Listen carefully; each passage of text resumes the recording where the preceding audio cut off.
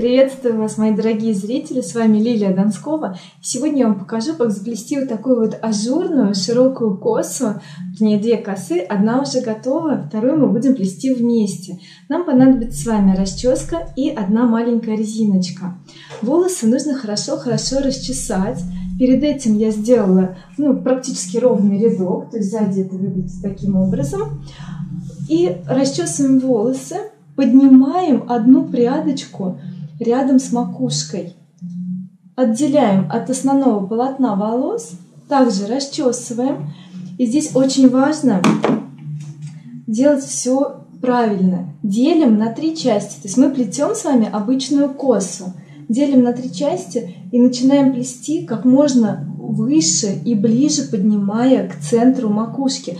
Потому что если вы будете плести ниже, то получится голова пришлепнутая, а здесь широко, будет некрасиво. Поэтому мы начинаем плести как можно ближе к макушке. Вот смотрите, я проплела один раз, и вот одна прядка, которая, получается, ушла вниз, я ее называю, которая упала, да, та прядка, которая падает, я сразу же к ней чуть-чуть добавляю волос. То есть я беру а, отовсюду по чуть-чуть и начинаю вплетать, как, как бы я плела обычную косу, то есть ничего не меняется. Следующая упала, я к ней добавляю чуть-чуть волос и проплетаю еще один стежок. Опять упала, добавляем. Я пальчиками аккуратно отделяю и вплетаю в косу. Получается обычная коса. Может быть, чуть-чуть не, неряшливо, ничего страшного. То есть плету туго. Обратите внимание, что заплетено туго. Проплела несколько стежочков – начинаю поднимать сразу. Особенно чем длиннее волосы, тем э, это важнее, потому что... Так, вот здесь не очень туго. Потому что чем э, волосы длиннее, вы начнете вытягивать уже из заплетенной косы, получится, что вы рвете волос, натяжение идет волосы и будет рваться. Нам это не нужно. Сейчас еще проплету, потому что не хватает тужины. Может быть, 5-6 стежочков нужно сделать аккуратненько плетем. Если волосы длинные, то лучше их периодически расчесывать. И вот теперь начинаем вытягивать. Вот у меня не пошло сразу, не задалось. Я сейчас объясню. Вытягивать таким образом. Подцепляем тоненькую, тоненькую волосинку и вот так вот вытаскиваем. То есть мы делаем такие кудрявые. Тут я потом расправлю, вытащу, мне нужна будет вторая рука. Раз подцепили, подняли. То есть, видите, как будто бы ажурное кружево встает. А сзади мы тоже аккуратненько нащупываем, где у нас колечко волос, и вытаскиваем тоже тоненькую прядочку. Ну, на ощупь как получается. Потом можно будет все подправить, посмотрев в зеркало. И плетем дальше. То есть раз, два проплели, остановились, например, я вот так перехват делаю, освобождаю вот эту руку, начинаю ей вытаскивать тоже тоненькую, ажурную кудряшечку. Тоненькую, ажурную кудряшечку. Можно чуть пошире. Вот у меня с этой стороны чуть-чуть пошире были, придется переплетать.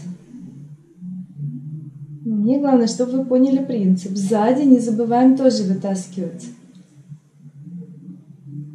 А, эта коса занимает по времени чуть больше, чем если просто э, растаскивать, распушать волосы не ажурная. И вот мы с вами закончили. Вот когда заканчиваете вот эта последняя прядка, мы ей потуже косу подтягиваем к шее, чтобы не было такого большого расстояния, иначе коса будет бултыхаться. Затянули. Продолжаем растаскивать тоненькие кудряшечки не получается, переплетаем. То есть, если слишком сильно подтянули а, широкую, лучше распустить и заплести заново. Аккуратненько подцепляем, плетем с этой стороны. И вот тут у нас уже пошло а, двухсторонняя коса. То есть мы и с той, и с другой стороны распушиваем. Так. Зеркало далеко.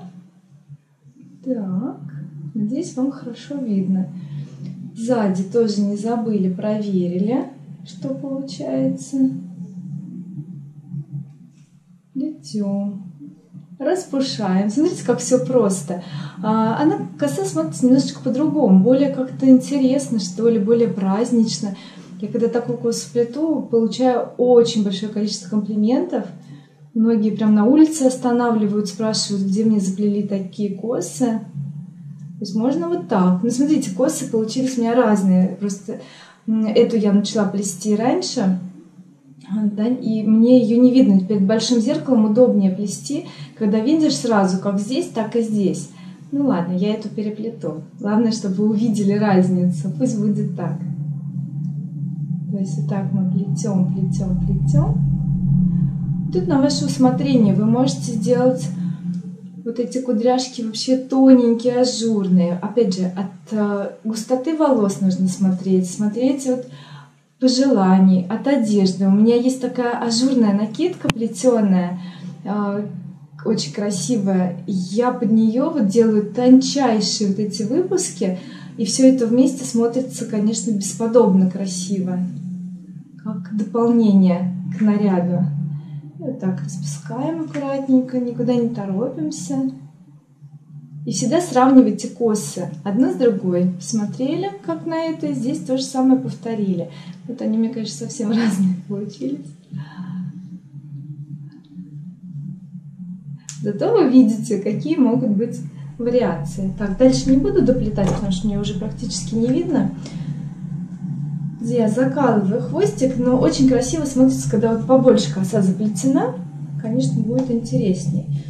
Заколола, дораспушила то, что здесь осталось.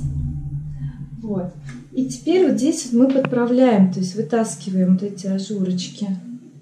Тоже маленькая ошибочка отступила, значит, от макушки спустила. Смотрите, сразу вид совсем не тот. То есть нет вот этого вот нечего поднять, да, ничего не стоит тут.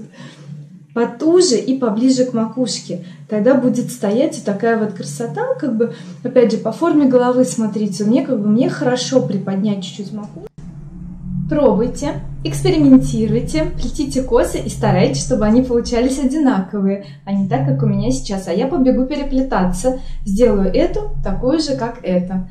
Жду ваших комментариев. Пишите. До встречи в следующих видео. С вами была Лилия Донскова. Пока-пока.